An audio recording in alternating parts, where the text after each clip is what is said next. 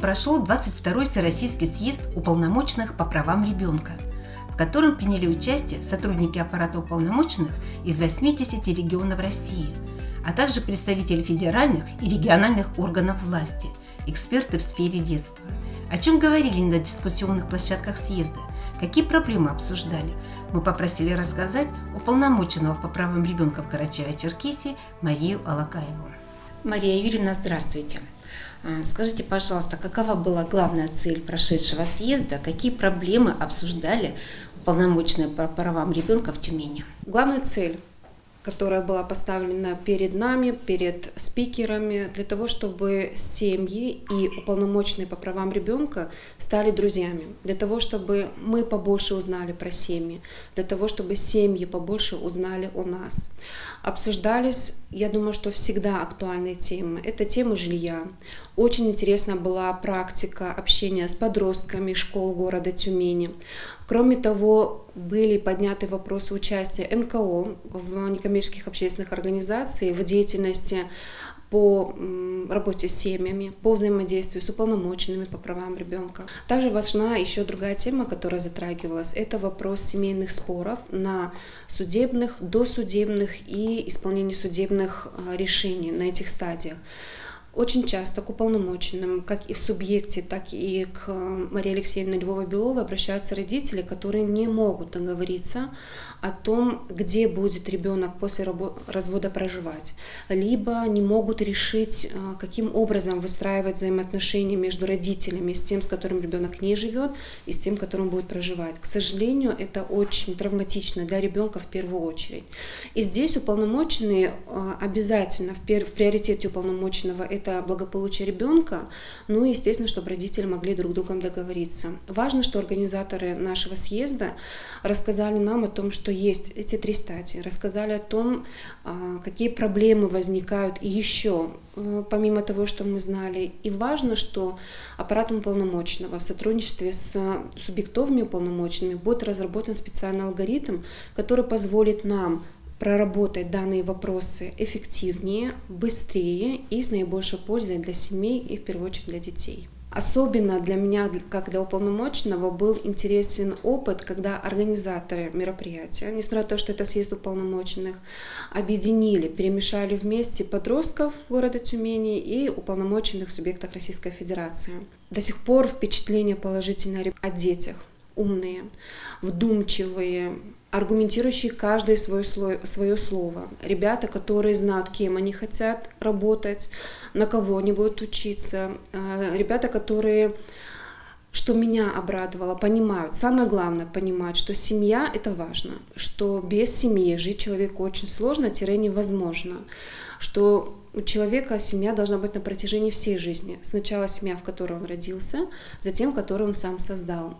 И здесь мы, как уполномоченные, увидели свою еще одну задачу рассказывать о том, что в нашем государстве, детям рассказывать о том, что в нашем государстве создается очень много мер поддержки для как молодых семей, для молодых мам.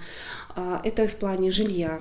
А, есть у нас программа «Молодая семья», есть семейный кредит – Далее, очень важно говорить о том, что поддерживается финансово э, рождение детей, что есть ряд э, скажем так, мер поддержки, которые облегчают жизнь и поддерживают молодые семьи. Важно, чтобы дети знали об этом, важно, чтобы они, как будущие родители, могли рассчитывать на это. О Тюмени мы поговорили, теперь я предлагаю вернуться все-таки в нашу Карачаево-Черкесию. А, скажите, какие инструменты существуют в аппарате уполномоченного по правам ребенка в нашем регионе, чтобы защищать семьи, о которых мы так много вот сегодня говорим? Очень много работы проводится с семьями. Органы исполнительной власти, министерства и ведомства вносят свои вклады в развитие семей, в поддержку семей. С нашей стороны уполномоченный по правам ребенка всегда открыт для детей и, естественно, для семей. Очень важно знать, что к уполномоченному можно обратиться как лично, Наш адрес Красноармейская, 52, город Черкесск. Мы работаем с 9 до 6, перерыв часу до 2. А, у нас всегда, каждый день проводится прием специалистов. Уполномоченный также встречается лично с заявителями. Это один из способов обращения. Кроме того, э, для того, чтобы удобнее было семьям, могут обратиться по телефону могут обратиться по электронной почте. Также у нас сейчас существует сообщество в социальной сети ВКонтакте. Можно написать сообщение в это сообщество.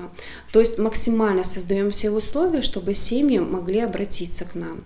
Есть также еще и интернет-приемная. На сайте уполномоченного по правам ребенка в Карачаево-Черкесской республике есть специальный раздел, где можно оставить свое обращение и, естественно, на него ответить.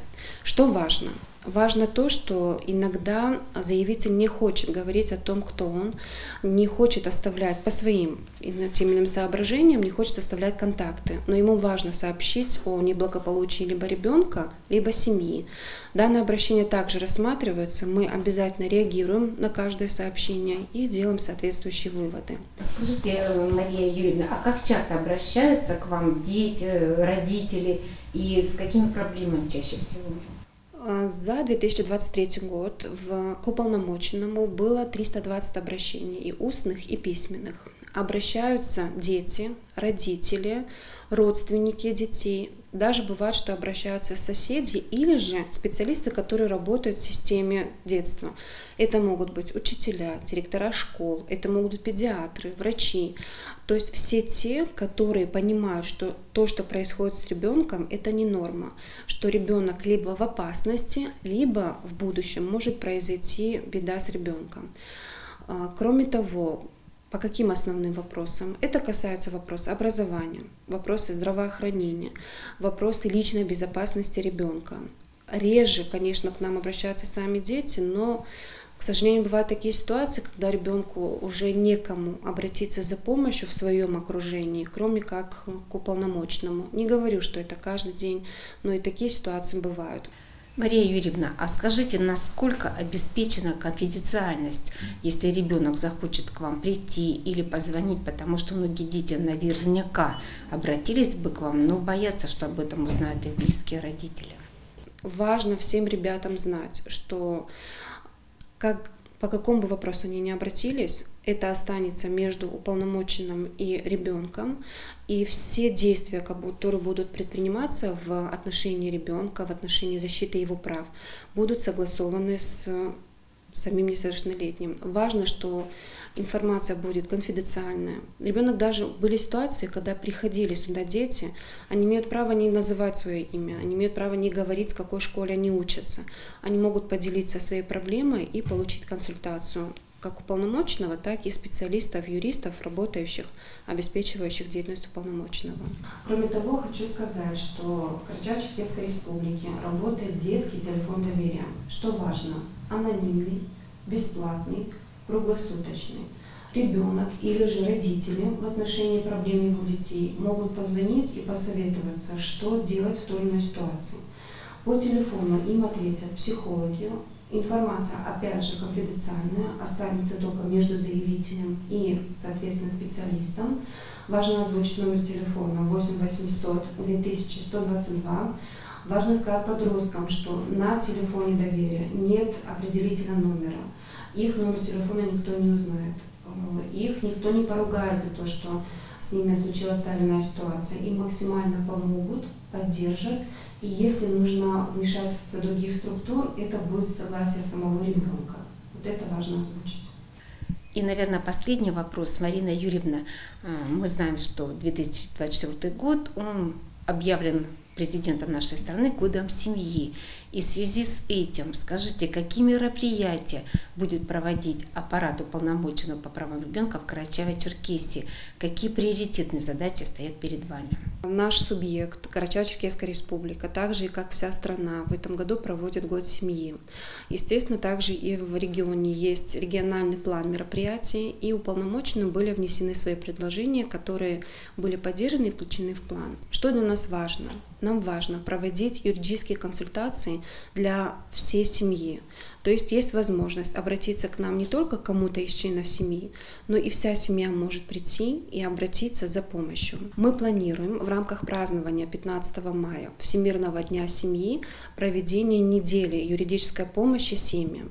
В любой день э, в любое время к нам могут обратиться семьи за юридической помощью и поддержкой. Также подобные мероприятия будут проводиться в рамках празднования 8 июля Дня семьи, любви и верности. Также будет проводиться неделя юридической помощи семьям. Что для нас еще важно? А, в прошлом году у нас уже был опыт проведения творческих конкурсов. Это был конкурс фотографии «Папа и ребенок». И в этом году мы также решили провести фотоконкурс, в котором будут приглашены для участия все семьи Карачаево-Черкесской республики. Почему для нас это важно? Потому что фотографии часто запечатляют не те случаи, с которыми мы привыкли работать, негативные, а наоборот, это когда семья счастлива, когда у них или хорошее мероприятие, или хорошее событие. И нам очень приятно будет, если семьи поддержат, поделятся с нами, ну а мы их поддержим небольшими подарочками, знаками внимания. Кроме того, очень важно, что мы планируем проводить также совместные мероприятия и с другими ведомствами, министерствами, органами исполнительной власти. То есть всем вместе объединиться и действительно реализовать самые самые качественные, самые масштабные мероприятия в рамках празднования Года семьи. Ну что ж, Мария Юрьевна, вы выполняете очень важную и нужную работу. Удачи вам во всех ваших начинаниях. Спасибо большое.